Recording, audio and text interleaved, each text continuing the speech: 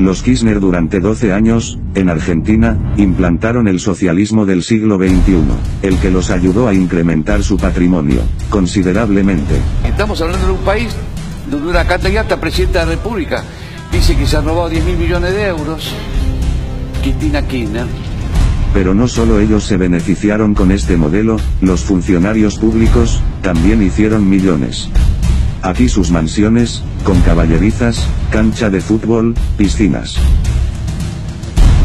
Este es el Hotel 5 Estrellas del Jardinero de los Kirchner, además tiene restaurantes, flota de transporte terrestre y aéreo. Su chofer, es el dueño de medios de comunicación y propiedades. Ella es cocinera, miren la fiestota de 15 que le hizo a su hija, con malabaristas y juegos artificiales. Así funciona. Tiene que ver, insisto, con la lógica kirchnerista. Eh, lealtad, complicidad se paga con fondos públicos.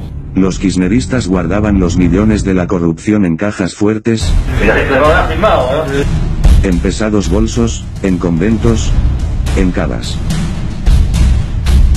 Ahora la justicia es independiente, y uno a uno están cayendo.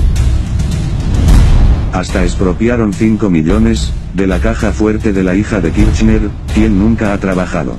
Uno no se imagina cinco palos verdes juntos. Yo no vi nunca en la vida cinco palos verdes juntos reales. Mirá, esto es un departamento. Hoy he recibido llamadas muy lindas por la tarde, una de Rafael Correa. Millones de la plata de nuestros bolsillos terminan con los gobernantes que se hacen llamar socialistas. Ocurre igual en Cuba,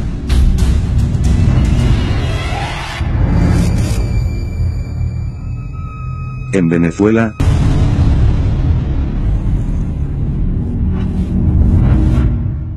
en Ecuador.